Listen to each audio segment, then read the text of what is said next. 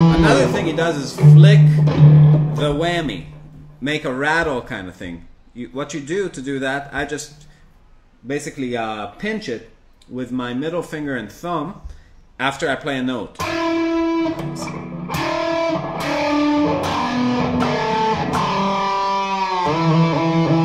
that gives you that.